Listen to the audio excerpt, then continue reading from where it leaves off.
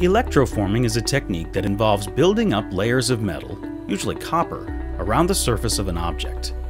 Many jewelry designers use this method to manipulate metal around organic objects, allowing them to create hollow, lightweight metal forms.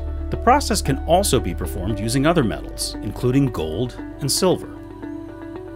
While similar to the process of electroplating, electroforming is done on items that are not metallic or conductive.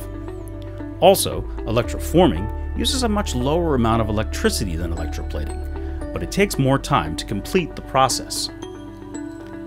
Since non-conductive items are used, they must first be covered with a conductive paint.